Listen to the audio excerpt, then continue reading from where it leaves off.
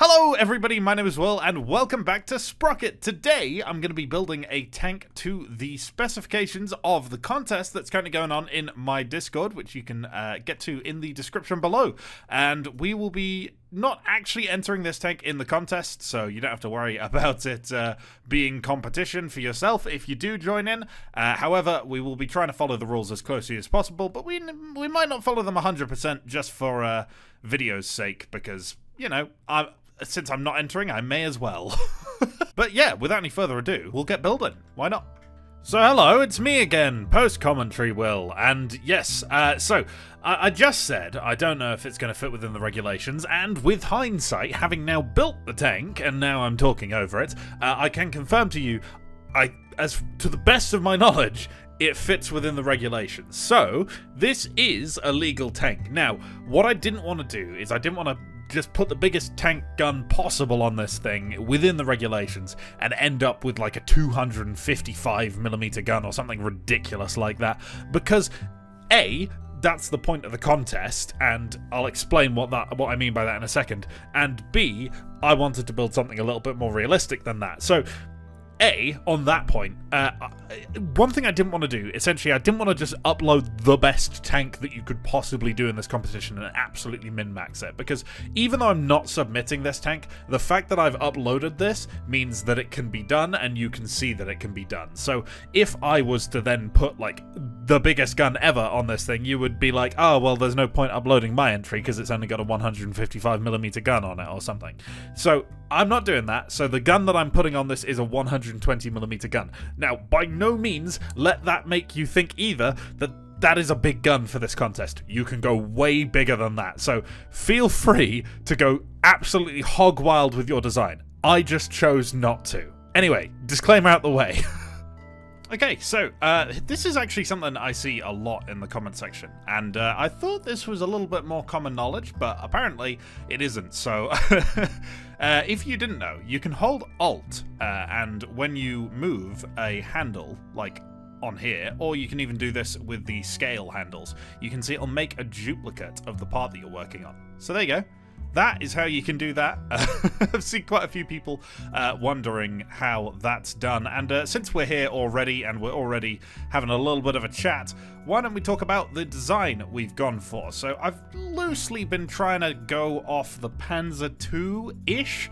Uh, I don't want to copy the Panzer II exactly, so as you can see, instead of having like a slanted bit of armor here, that's kind of more like how the Panzer II is arranged. Uh, we're just going to have this flat cut here. Uh, so obviously this is going to be where the driver is, and on this side we probably won't have a crew member back here. This will probably just be some machinery spaces or something. Uh, realistically, maybe we should even angle it like that, but that feels a little bit too Soviet. That feels a little bit more German somehow. I don't know. This wants to be German. it's the general goal, so uh, it needs to be somewhat boxy. And then generally, uh, I'm just going to slap a big old open top turret on the top of this thing, uh, and we're probably going to aim to have about a 105mm howitzer on top of this. We can probably go bigger, um, but for the sake of this, I feel like it's most realistic to have a 105-ish kind of millimeter gun. So that's what I'm going for, and uh, yeah, I'll, I'll, I'll, I'll, just get right back to it. So, something that I've always done in Sprocket, and something that a lot of people have commented on, and uh, I'm sure a lot of you have realized as well, is um, a lot of the time when I build a tank, it ends up being a little bit too small. So with this one, I kind of wanted to I wanted to turn that around. I wanted to turn over a new leaf and start doing things a little bit larger. And what I've ended up doing is making this one maybe a little bit too large. I wanted like a light tank hull. It's ended up more like a medium tank hull with light tank armor, which is fine because in theory this is a ground up SPG, so it doesn't need to be particularly well armored, but one thing it does need to be is fairly big because you need a lot of room to move around, a lot of space to just get the shells lugged around. Because it, it's firing 120mm shells inside something that realistically shouldn't have 120mm shells fitting in there. It's no Abrams, you know? so it, it is still fairly small. Um, however, bigger than the crew necessarily would need, I'm going to say. Uh, we end up with four crew in this thing, if you're wondering. And um, yeah, the uh, the the driver's compartment there is a good couple of I'd say 10, 20 centimeters either side of his shoulder. Could be a little bit more cramped in than that, but let's just say that it's all there for crew comfort or something. I don't know. Do you get crew comforts when you're an artillery crew? in, you know, Germany in the no-no period? Probably not. Uh, but yeah. Uh, what am I even on about anymore? Yes, let's let's talk about the tank. Why not? Uh, because that's that's always a good topic when I'm making a video about a tank. What am I doing? Uh, great question. Honestly, I don't know half the time. Right now, what I'm doing is I'm putting on a driver's port uh, on this little bit here because I just wanted one, you know? Uh, it, it's something that takes a little bit more fidelity than uh, just kind of slapping it together. And another thing that you may have caught me doing, which it is kind of easier in this new update, is you see where the fenders go over and start floating on the front of the tank. I've actually brought some edges and faces up to meet the uh, fender, which just kind of gives it a little bit of depth and more 3D-ness rather than before you'd have to do this with the uh, applique panels and they just didn't look great. The uh, textures on those they always went a little bit weird. Now, you, you can still get those, um, but as I say, they do look a little bit weird. We do end up using them on this tank, actually. You might have seen that in the uh, thumbnail, but around the gun, we've got this rail that the gun can elevate and depress around, and that has the riveted plates put around it, which is the first time I've used them in this update. There you go. There's a fun little factoid. Um, I gotta say though, I, I, know I've said this in the last couple videos as well, but uh, the the actual building tools, just moving things around in a free place, you know, just feels a lot better now the edge selection works, which is super handy. Um, if you delete a face, it'll automatically select all of the points that made up that face, so you can then fill it in much easier again. So one thing that I was doing was selecting three or four faces in a place uh, and getting rid of them to make one plate that connects just the four edge corners, but because those other points are just along the line, they don't need to attach to that plate. It just reduces the number of edges and plates I have on the tank down to a more manageable number. It'll help with frame rate a negligible, negligible amount. Gosh, that's a hard word to say. Um, but it will also just help my sanity while I'm building it, to be entirely honest. Um, other things that were particularly nice when building this tank.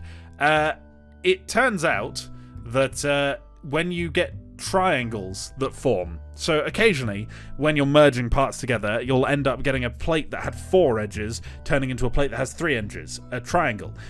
It's super easy now to turn those triangles into a square, and previously this would sometimes just throw a fit and go wrong, and it's been so much more reliable for me. So even though this is an alpha, I'm genuinely, I'm finding less bugs than I did in the old one, to be entirely honest.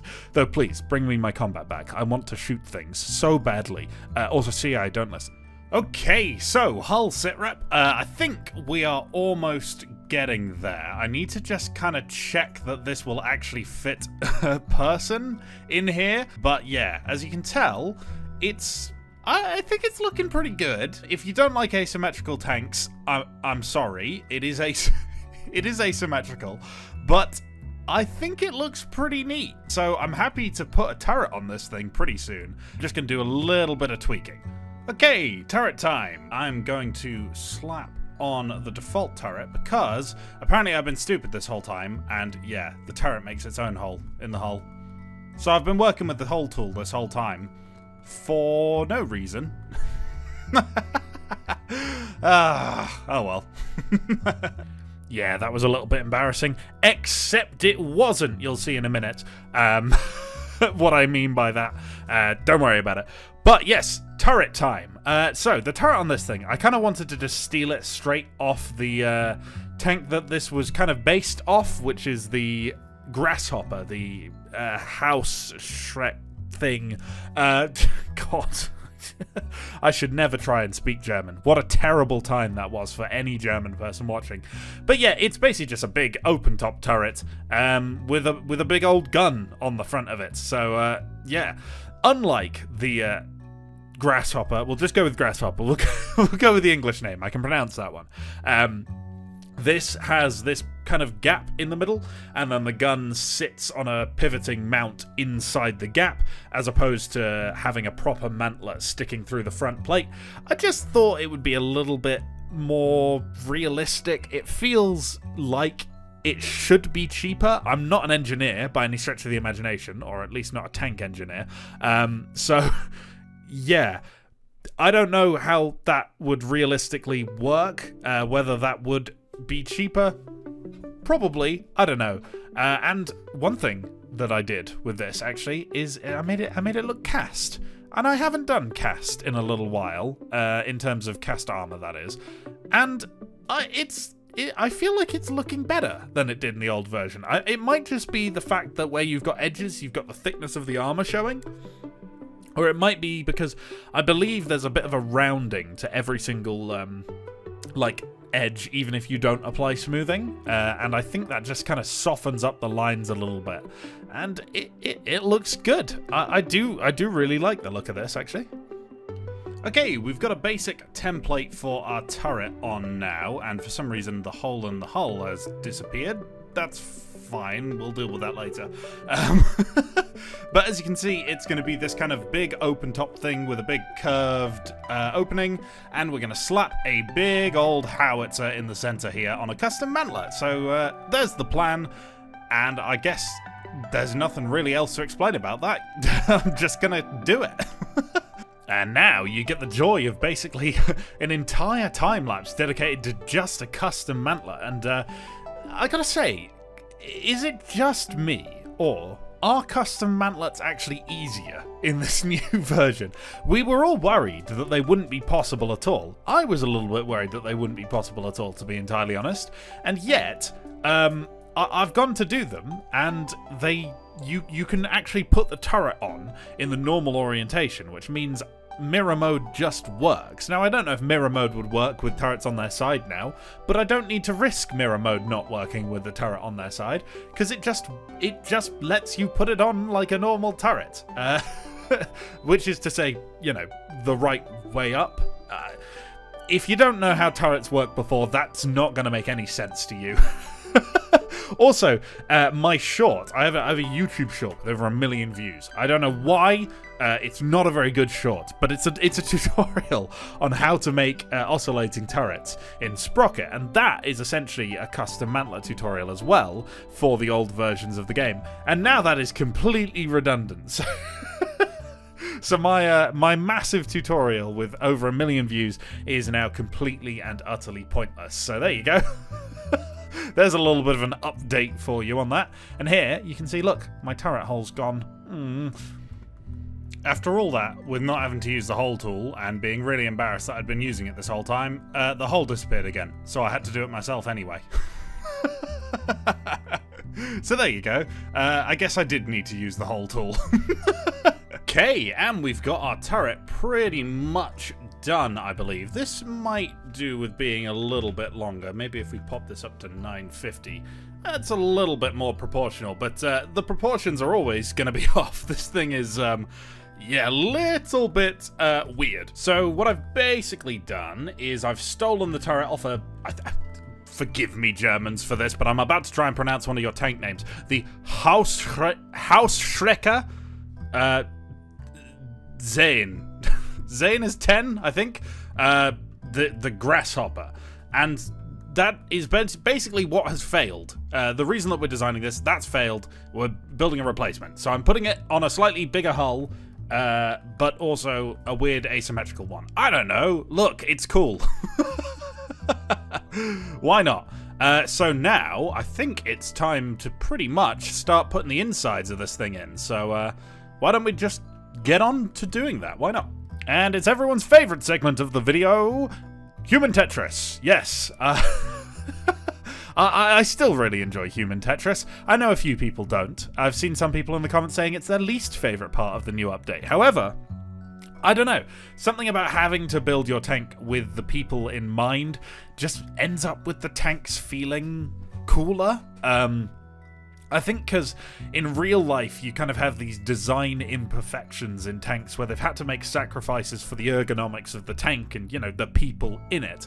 And that makes it a non-perfect tank. The Cromwell would probably have angled armor if it wasn't for people in it. You know, it's those kind of things. And so you you're forced to make those kind of design design decisions so long as you're constraining yourself to a certain size or weight or whatever.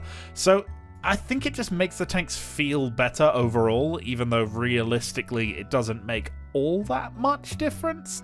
Uh, the crew appear to be performing some kind of satanic ritual uh, to to just bless the shells into the breech, which I mean is is definitely one way of doing it, but um, I mean they fit in there, so why not? And right for once, now we're gonna we're gonna do a little bit of ammo placement, but for once, I genuinely believe the internals for this tank are not completely and utterly nonsensical. You can disagree. You can let me know in the comments if you know more about tanks than me. I am by no means an expert. I think this makes a little bit more sense. than my previous builds maybe have.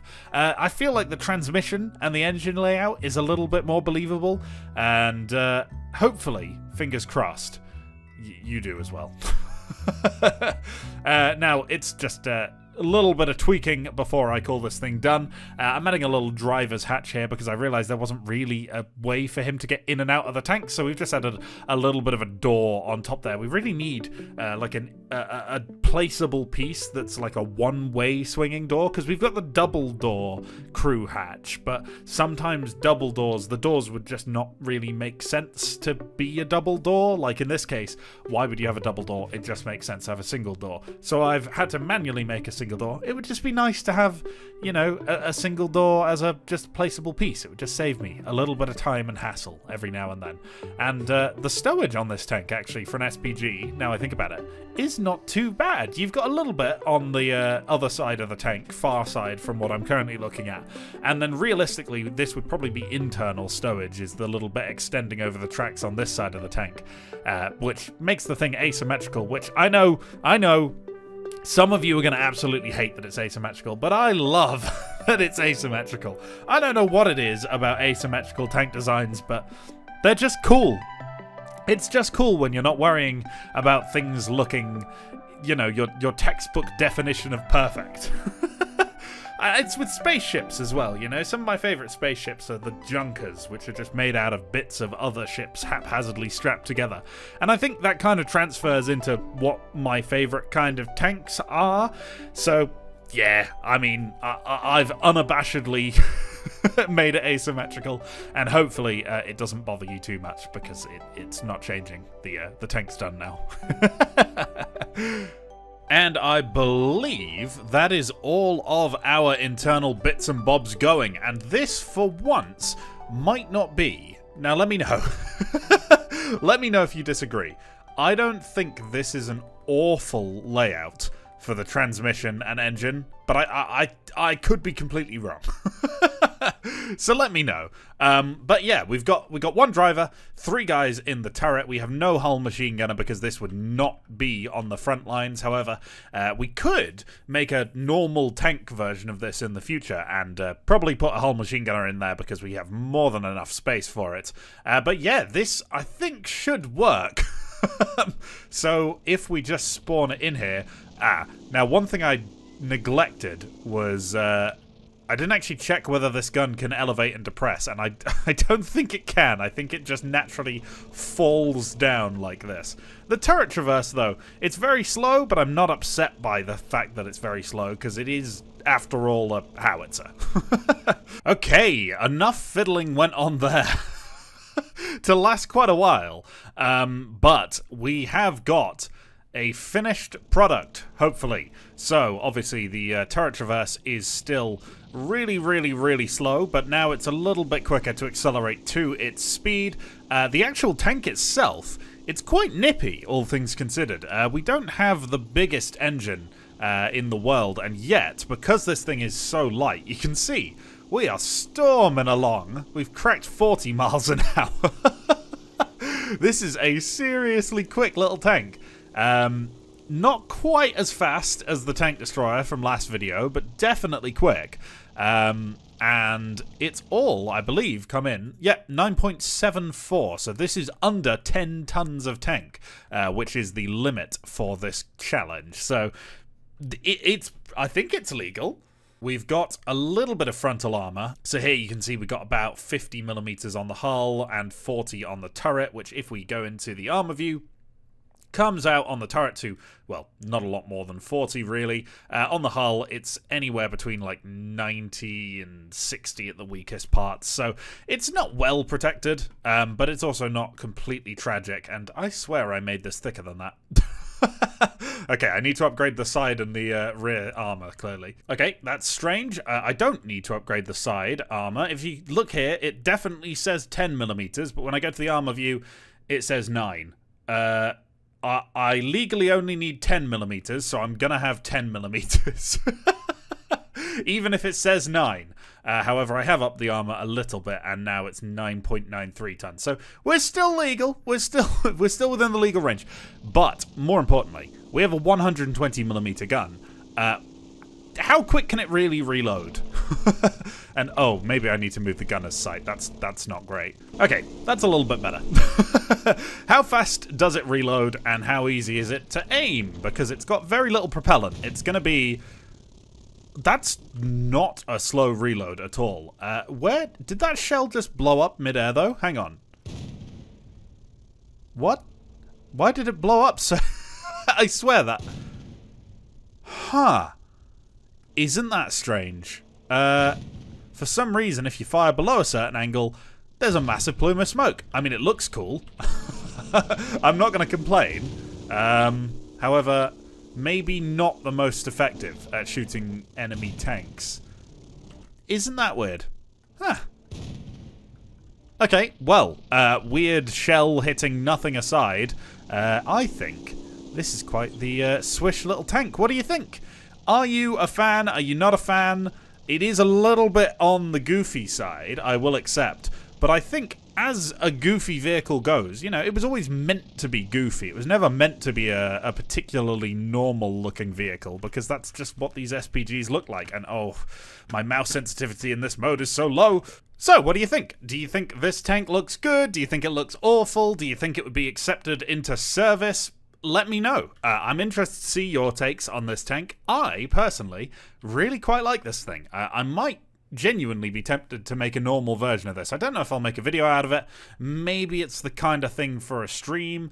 I don't know. Um, but yeah, I, I, I, I genuinely, I really, really like this one. Um, I don't know if it's just because 0.2 is still new to me, but personally, I, I feel like I've been been just getting better and better with this new update. I'm, I'm super thrilled with this. But yeah, uh, if you enjoyed this one, please leave a like, comment, and or subscribe. Uh, and I will see you in the future for more stuff like this. Uh, but for now, goodbye. And as always, a huge thank you to this channel's patrons, Ambroise, CamGem135, Cody N, DigiPete's, Gavinga, Master929, Sad Cat, Jack Not Angry, Jessica Casual 2671, Last Edge 11, Mildly Invested, Nicholas K, Relaxed Panda, Rules was Buckin, Ryan Brody, Ryan Brody, Stug3, Terra, the Kinesian Emperor, Worthsickle, and Zeit Wolverine. Thank you so much for your support.